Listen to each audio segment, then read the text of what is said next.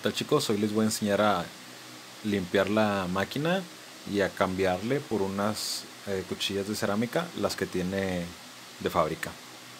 Quédense porque está muy interesante cómo cambiar esta cuchilla TY, ya que tiene un pequeño truquito cuando le quitas la cuchilla y hay que tener cuidado. Como anteriormente ya han visto, primero desatornillamos estos dos tornillos para poder retirar la cuchilla. Consejo, siempre que quiten los tornillos, recuerden ponerlos boca arriba para que no rueden y así no los vayan a perder.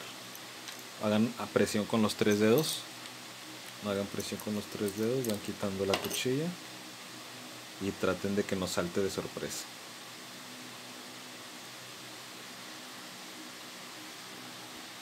Después de esto vamos a ir soltándola despacito para que no vaya a saltar la pieza blanca que está aquí. Eh, ya me ha pasado con la cuchilla de la D-Tyler, la Wall D-Tyler. Recordemos que esta es una Wall Hero que viene en dos presentaciones. Esta es la del combo y hay otra que viene individual que viene siendo con esta misma tapa pero en cromado. Después nos va a quedar esta pieza blanca. De una vez vamos a tratar de limpiarla. Lo que se le puede quitar, tampoco es necesario exagerar mucho solo con darle una leve pasada pues ustedes ya van viendo todo el cabello que está soltando. Aquí es una forma muy interesante para sacar esta pieza. Vamos a tomarla de aquí para que no vaya a saltar y la sacan. Si ven como le hice una pequeña palanca hice una pequeña palanca para arriba ok y ya sale. Si ven traten de quitarla así como les digo yo porque si no les va a saltar y la, van a, la pueden perder o se puede romper. Entonces tiene que ser muy delicada con esto ya fuera la pieza la podemos pasar este, directamente a limpiar. Después de limpiar la pieza blanca pasamos a quitar este resorte. Este, este resorte es pues fácil de, de quitar sinceramente. Vamos a ponerlo enfocar un poco por aquí. Muy bien. Si ven el pedazo de metal que cruza por ahí ese pedazo de metal solamente lo vamos a levantar y ya fíjense que los resortes están como que para atrás. O sea como que así ¿sí ven? los resortes dan la vuelta para adentro en vez de para afuera. Dan la vuelta para adentro y es un punto de referencia. Después de eso obviamente aquí hay mucho, muchos cabellos aquí adentro. También los pasamos a limpiar. Y recuerden hacer esto con una brocha pues que tenga cerdas suaves y que sea mayormente pues que tenga buena distancia para que pueda entrar bien y sacar los cabellos que están dentro. Ok después de que ya limpiamos este la máquina limpiamos el resorte este es fácil ya literal se le cayó todo. Recuerden este el resorte va para adentro y lo colocamos en esa pequeña pestañita que se ve ahí. Esa pequeña pestañita negra que se ve ahí ahí vamos a colocar esto este pedacito de metal que se ve aquí horizontal va a ir ahí. Recuerden que siempre va a ir adentro el para, para adentro la pancita de los resortes. Es un poco laborioso solamente es difícil al principio ahí está ya. Eso es todo lo que se tiene que hacer. Este ahora pasamos a con esta pieza. Primero metemos las, las dos pestañitas desde lateral siempre o visto desde así primero metemos las dos pestañitas que se, que se enganchen digamos así y luego que se enganchen por, por las líneas guías ahí ya ven ahí que ahí embonan van a embonar y nada más como la quitamos así la ponemos recuerden este, esta, esta pieza, esa pieza de dos, de dos dientecitos que se ve, solamente la vamos a presionar. Ahí está, ya. Eso sería todo. Sientes cuando entra la pieza y vamos a empezar a colocar este, las cuchillas de cerámica. La cuchilla de cerámica obviamente va a ir embonada con los dos tornillos, así. Es fácil la verdad, no, no tiene mucha ciencia. Tiene sus dos hoyos, solamente la ponemos aquí y ya estaría ya estaría puesta. La cuchilla T-White, la nueva, la colocamos arriba. Este, para este caso las cuchillas se calibran antes. por defecto la mayoría ya viene de fábrica calibradas. La verdad es que no hay que moverlas. Solamente pasamos a, a poner los tornillos para ver el funcionamiento. Ya que pusimos sobrepuestos los tornillos obviamente un poco enroscados vamos a hacer esto. Y vamos a tratar o vamos más bien a terminar de apretar los tornillos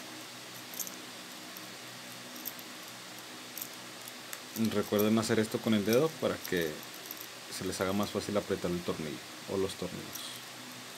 Ok. Tampoco tiene que ser excesivamente fuerte solamente al llegue cuando sienten que ya no va a girar más ahí le dejan. Tampoco es necesario que lo aprieten demasiado. Ok. En teoría pues ahí estaría. Vamos a meterle un zoom de esos que nos gustan. Ok. Ahí como pueden observar no está al ras está justamente abajo si lo pueden notar. Justamente abajo de donde debería de estar. Eso nos va a permitir un buen corte. Otro tip que les voy a dar es que cuando vayan a ocupar la máquina aceitenla pero aún más importante que cuando la vayan a aceitar siempre eh, solamente utilicen el aceite y no utilicen el culker tanto o tan seguido ya que como que con las cuchillas de cerámica suele hacer un ruido medio extraño. Este, entonces yo recomiendo este, que lo hagan con, pues digamos con, con, el, lubricante este y no tanto con el culker. El culker solamente al, inicio de cada corte y posteriormente luego luego coloquen su aceite para que este tenga un buen juego. Es importante como les decía que tengan cuidado a la hora de apretar ya que un algo excesivo puede llegar a, este a torrear el motor y pues puede ser que no funcione. Amigos no vayan a cometer el, el error que yo cometí. Puse la pieza blanca pero miren esto. El motor o el, o el pico del motor aquí se puede ver muy bien. El pico del motor si lo pueden observar ese es el pico del motor. Que estoy señalando quedó por fuera de la pieza ese debe quedar obviamente adentro, por donde está la mitad de esa. Ahí debe quedar. Entonces por eso no daba.